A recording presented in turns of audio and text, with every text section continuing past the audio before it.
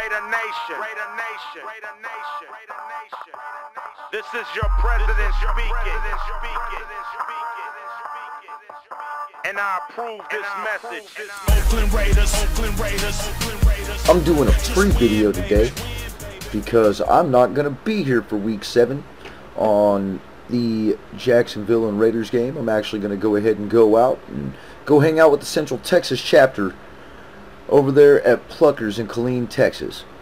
So I'm going to go ahead and do my video now and I think I've given the proper reason on why I'm doing it, but I've got a few things for you. I know I'm not going to have any highlights. I'm not going to have any of that cool stuff that I normally do. Uh, but I do have some pregame statistics here. Uh, Raiders versus Jaguars. Run offense for both teams. Jaguars is 31st. The Raiders are 13th. And that's with a committee, guys. That's not all Latavius Murray. We're 13th in run offense. Our pass offense is 9th. The Jaguars are 15th. Defensive pass. Jaguars are 8th. We are 32nd in the defensive rush. The Jags are 13th and we're 30th. We are the 32nd ranked defense in the league. Our leading passer, of course, is Derek Carr 151 completions, 227 attempts for a 66.5 completion percentage. 1,608 total yards, 268 average yards per game with 12 touchdowns, 3 interceptions. He is ranked overall passing 10th. Blake Bortles for the Jaguars, 118 completions of 193 attempts, 61.1 completion percentage, 1,321 total yards, 264.2 yards per game average, 8 touchdowns, 7 interceptions. Receiving Amari Cooper for the Raiders, 36 completions, 585 yards, 16.3 yards per catch. That's what he's averaging. He's averaging 97.5 yards per game. He's only got one touchdown, but he's the overall ranked eighth wide receiver in the league. Michael Crabtree, 31 completions, 365 yards, 11.8 yards per catch, 60.8 yards per game with five touchdowns. He's rated 18th. The Jaguars wide receivers, Allen Robertson, 24 completions, 287 yards, 12 yards per catch, 57.4 yards per game, three touchdowns. He's ranked 42nd. Marquise Lee, 22 completions, 230 yards, 10.5 yards per game, 46 yards per game average, zero touchdowns, 48th overall.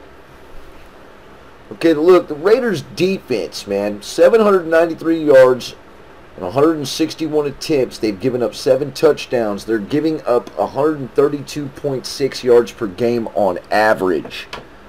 This is absolutely terrible.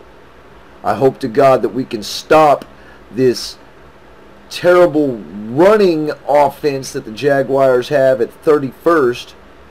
But with us being 30th against the run, they might have a heyday on us. And that, that just might be absolutely terrible.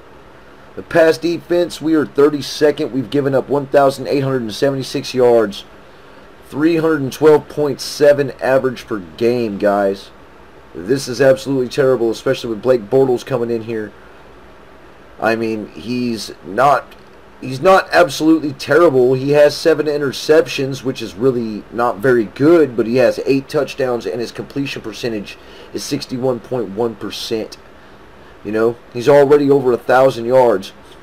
He looks like a legitimate contender, you know what I mean? He does. He looks like a legitimate quarterback and somebody that we're going to have to pressure to win this game.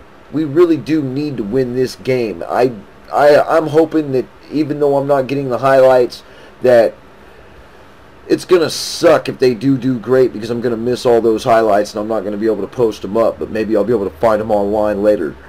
But, you know, I'm just hoping that we blow these fuckers out. Now, on paper, we look pretty well evenly matched up, but I do believe that we have the edge if we play football the way we're supposed to play football. To play football like we know they can play football. So anyway, I'm going to go ahead and sign out of here. I just wanted to go ahead and throw you guys some stats.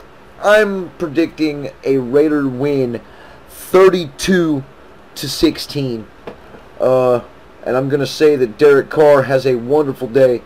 with three touchdown passes and over 250 yards passing. His completion percentage is going to be well over 50%. And our running back core led by Jalen Richard will break over 100 yards. And I know that's not much of a prediction since we've been doing so well at the run. And anyway, this is the Raider Critique signing off.